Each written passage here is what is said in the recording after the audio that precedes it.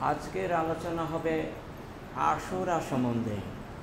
মহরম মাসের যে আশুরা রয়েছে, নয় দশ তারিখ যে রোজা আছে, সেই আশুরার দিনের কর্তব্যটা কি এবং কীভাবে আমাদেরকে চলতে হবে?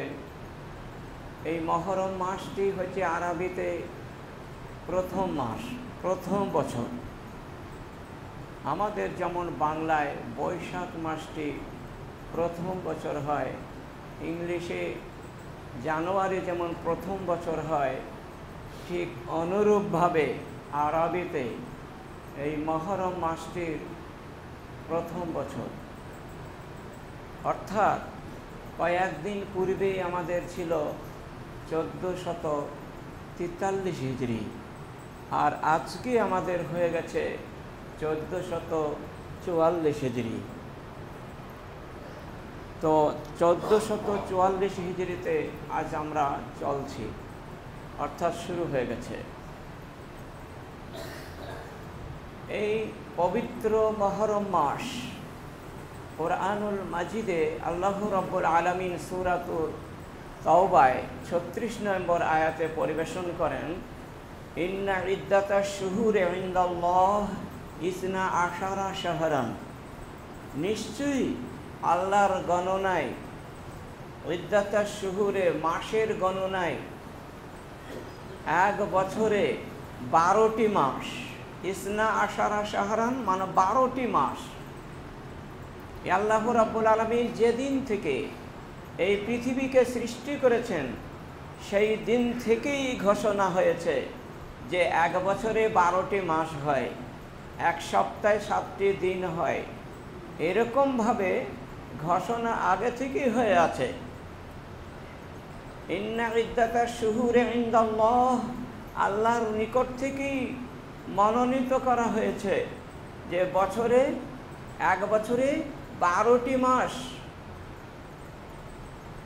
ফি কিতাবিল্লাহি ইয়াউমে খালাকাস অর্থাৎ আল্লাহর কোরআন মাজিদে বলা হয়েছে।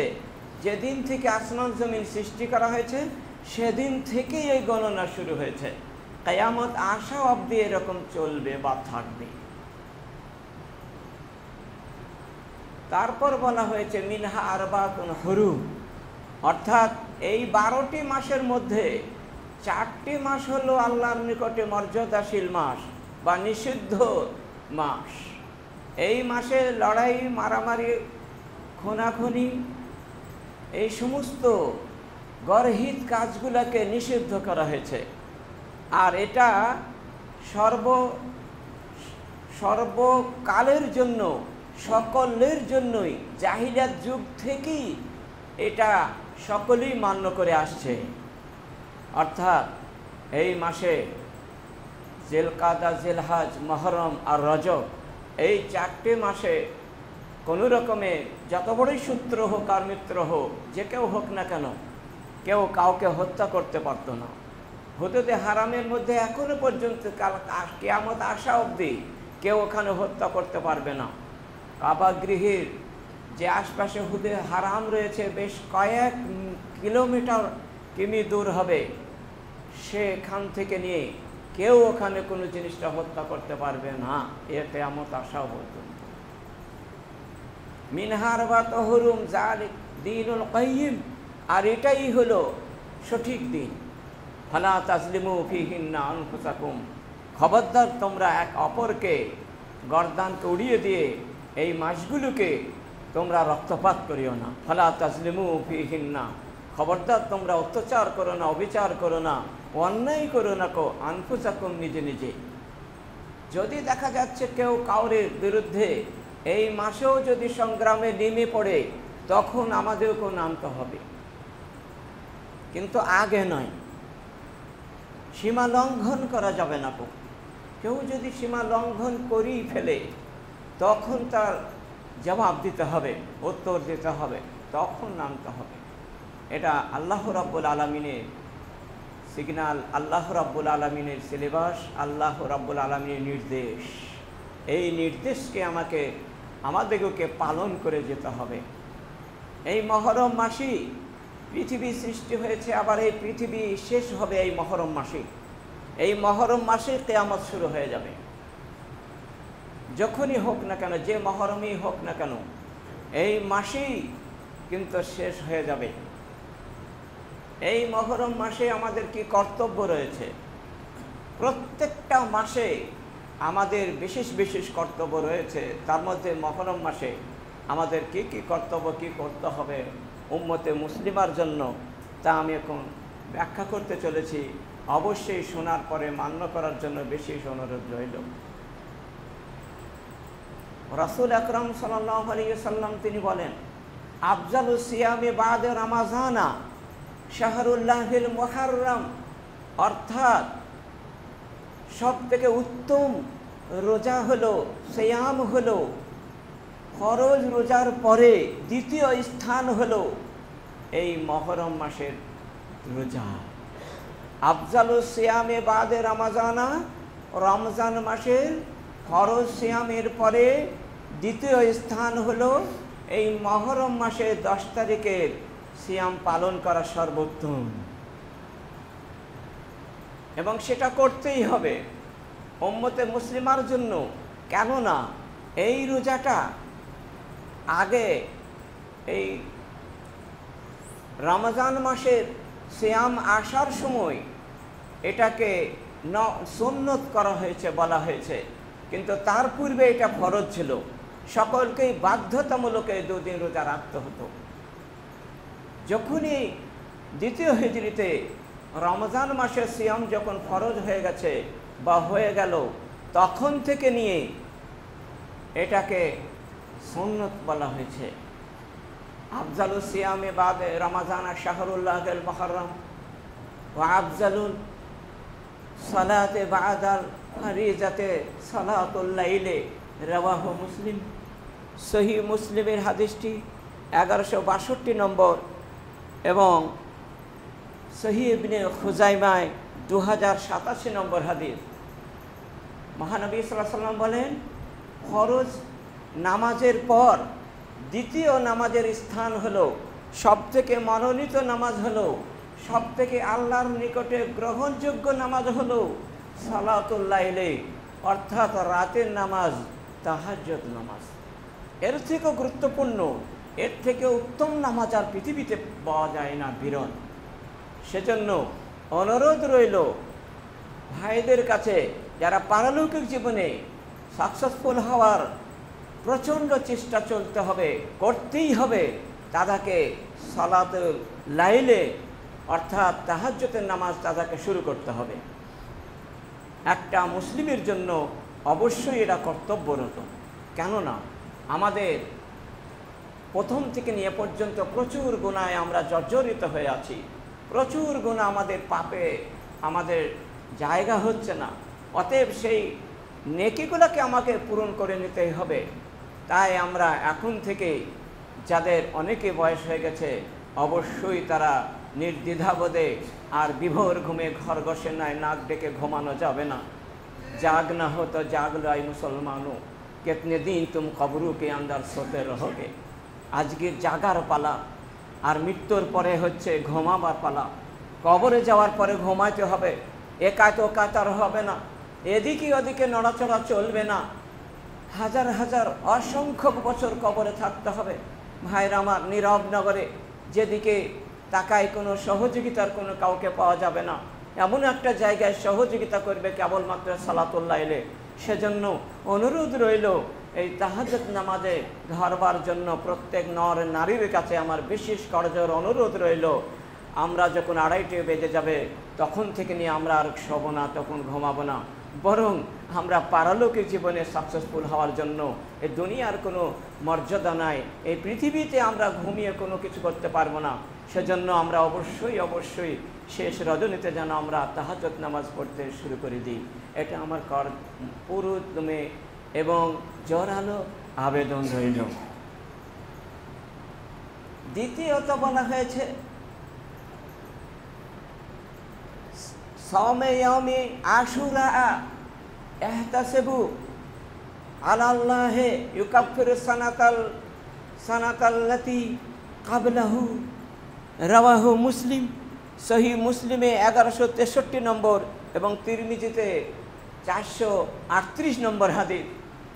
মহানবী সাল আলী সাল্লাম তিনি বলেন, কোনো ব্যক্তি যদি এই মহরম মাসের নয় এবং দশ তারিখে, অর্থাৎ আশুরার দিনে কেউ যদি রোজা রাখে, এই নফল বা সুন্নত রোজা আল্লাহকে সন্তুষ্ট অর্জন করার জন্য পারলোকের জীবনে সাকসেসফুল হওয়ার জন্য, পরিত্রাণ পাওয়ার জন্য যারা রোজা রাখবে, তাদের রোজাটাকে আল্লাহর নবী বলতেন, আহতাসেব আল্লাহে আমি আশা রাখছি আল্লাহ রব্বুল আলমিন তাদেরকে এত নেকি দেবেন, এত নেকি দেবেন, এত তাদের সব ভালো হবে পারলৌকিক জীবনে। ইউকাফেরুসানাত আল্লাতি কাবলাহু। গত বছরকার থেকে নিয়ে পর্যন্ত যতটার পাপ আছে, সমস্ত পাপ তার মর্জনা হয়ে যাবে মাপ হয়ে যাবে। অর্থাৎ গত বছরে, আগেকার বছরের সমস্ত সাগিরা গুণা মাপ হয়ে যাবে। এই দুটো রোজার জন্য বিশেষভাবে অনুরোধ রইল এই দুটো রোজাকে পালন করার জন্য। ভাইয়ের আমার, এই রোজা আমরা হাত ছাড়া করব না। এই রোজা আমরা স্বাগত জানিয়ে অবশ্যই করবার চেষ্টাও করব। কেননা মানুষের মৃত্যুর কোনো গ্যারান্টি নাই আজ আছে কাল নেই। এরকম কাউরই কোনো কোনো গ্যারান্টি পাওয়া যায় না। মৃত্যু এমন একটা জিনিস আসবেই। সেজন্য আগে থেকেই আমাদেরকে তৈরি থাকতে হবে, নেকির পাহাড় আমাদের জোগাড় করতে হবে। নেকির ভাণ্ডার সঞ্চয় করে নিতে হবে। এহ জগতে তবেই আমরা পারলৌকিক জীবনে সেগুলো ভোগ করতে পারব। আর সেটা হলো মহানবী বলি কাপুর সানাতাল্লাতি কাবলাহু। অর্থাৎ সেই মুসলিমের হাদিস, এটা এগারোশো তেষট্টি নম্বর হাদিস আর চারশো আটত্রিশ নম্বর হাদিস, যেটা পরিবেশন করলাম, অবশ্যই রোজা রাখবেন।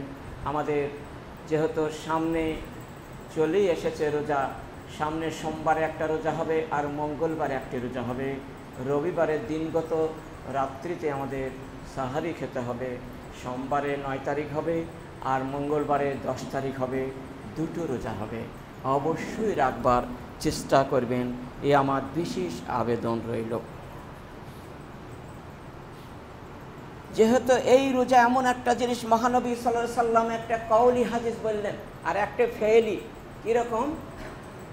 যে এই যে রোজাটা মহানবী সাল্লাহ সাল্লাম মাক্কা ছেড়ে মদিনায় গেলেন। গিয়ে দেখছেন সেখানে ইহুদিরা সব রোজায় আছে। জিজ্ঞেস করা হলো, তোমরা রোজা রেখেছ কী ব্যাপার গো?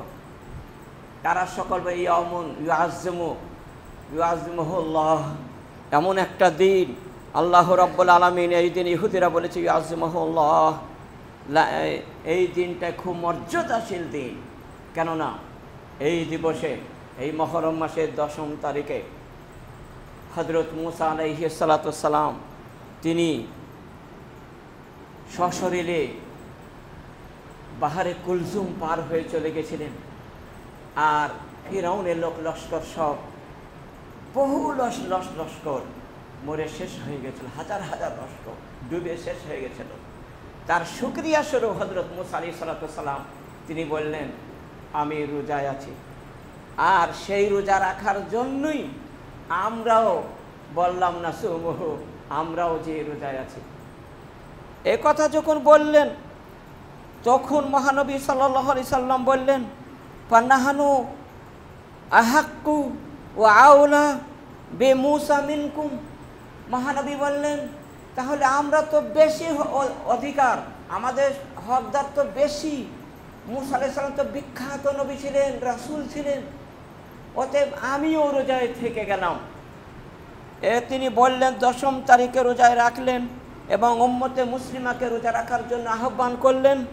ও আউলা বে মুসা মিনকুম, বললেন, আমি তোমাদের থেকে মোসার কাছে আমি বেশি হকদার, বেশি উত্তম, অতএব আমি রোজায় থেকে গেলাম। এই সুন্নত রোজা সাহারি না খেলেও চলে কারণ বশত সেজন্য মহানবী রোজায় থেকে গেলেন এবং বললেন ওয়াসামা রসুল্লাহ সাল্লি সাল্লাম যখন ইহুদিদের মুখ থেকে কথাটা যখন শুনলেন, সঙ্গে সঙ্গে তিনি নিয়ত করে ফেললেন যে আজকে আমি রোজায় থাকলাম। ও আমারা বেশি আমিহি এবং উম্মতে মুসলিমাকে বললেন, তোমরাও রোজা রাখো। এ নির্দেশ মহানবী সাল্লাহ আলি সাল্লাম করলেন। সহি বোখারি দু হাজার চার নম্বর হাদিস এবং সহি মুসলিম এগারোশো তিরিশ নম্বর হাদিস। এর থেকে বুঝতে পারলাম যে ইহুদিরা যখন ফিরাউন ডুবে শেষ হয়ে গেছে আর মুসারে সাল্লাম তিনি সশর এলে আল্লাহর কৃতজ্ঞতা করতে করতে পার হয়ে চলে গেলেন, শুক্রিয়ান, শুক্রান, তিনি রোজা রেখেছিলেন, আমরাও তাই রেখেছি। মহানবী শোনার পরেও তিনিও রাখতে শুরু করলেন। সেদিন থেকে আমাদের এই রোজাটা চলছে, চলবে।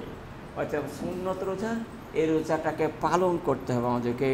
এর আগের হাদিসটা ছিল যে মহানব যখন বললেন আরও একটি কথা বল, লাইন বাকি তো বালাইন বাকি তো এলা কাবেলিন।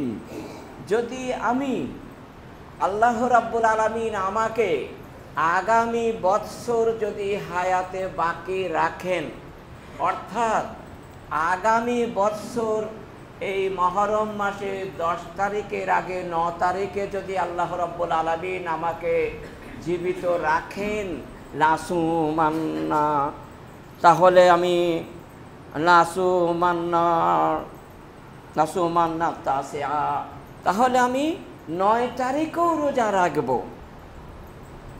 সহি মুসলিম এগারোশো চৌত্রিশ নম্বর হাদিস এবং সহিহুল জামে পাঁচ হাজার বাষট্টি নম্বর হাদিস। মহানবী বললেন লাসু মান্না তাসে অর্থাৎ আমি নয় তারিখকেও রোজা রাখব। আল্লাহ যদি আমাকে আগামী বছর হায়াতে নয় তারিখটা জীবিত রাখেন, তাহলে আমরা বুঝতে পারলাম, মহানবী সাল্লাম নয় তারিখটা পেরিয়ে গেছে, তিনি দশ তারিখে খবরটা শুনলেন, যার জন্যে দশ তারিখে তিনি রোজা রাখলেন আর বললেন যে আগামী বছর আল্লাহ যদি আমাকে রাখে, তাহলে আমি নয় তারিখটাও রাখব। এটা মহানবীর কথা, হুকুম, নির্দেশ।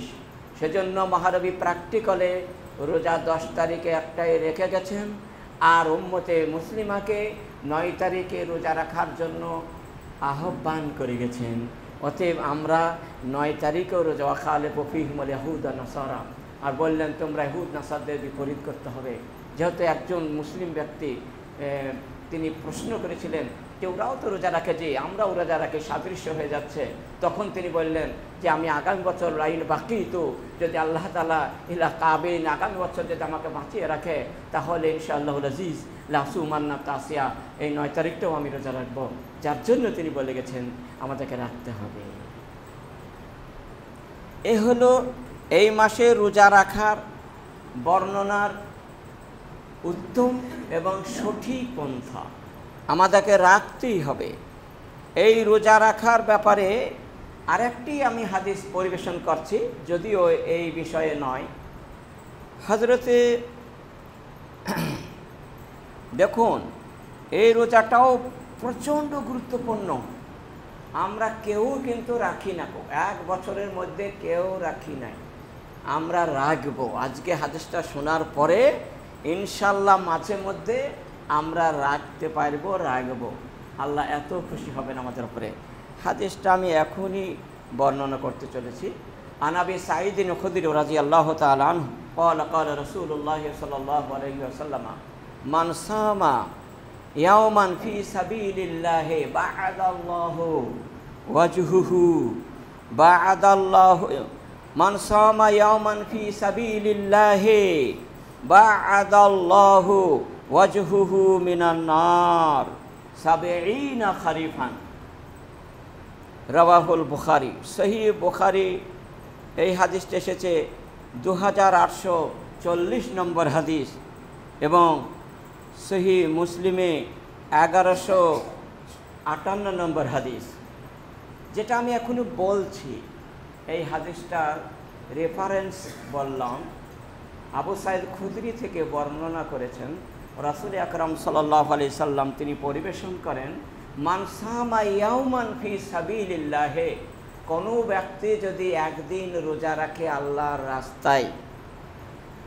বা আদাল্লাহ আল্লাহ রাব্বুল আলমিন তাকে জাহান্নাম থেকে দূরে রাখবেন।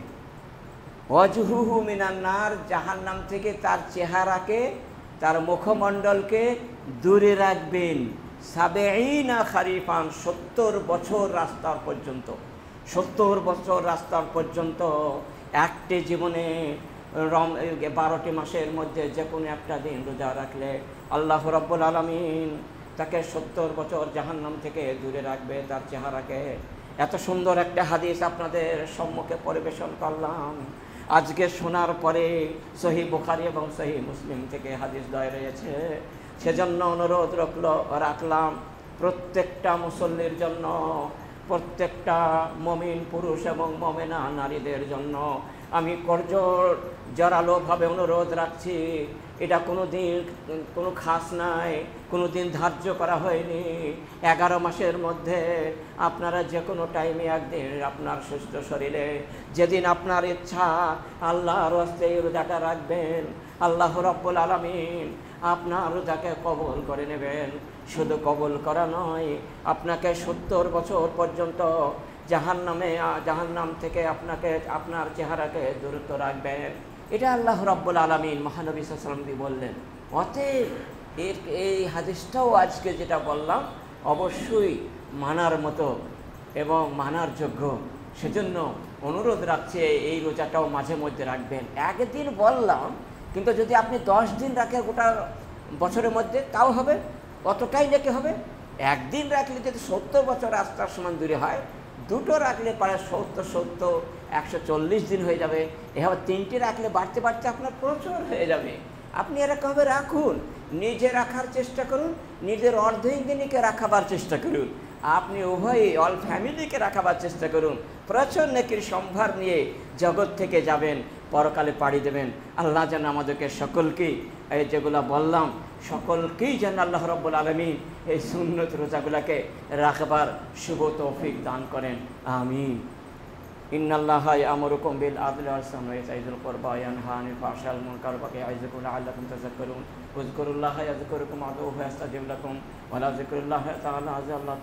আকবার।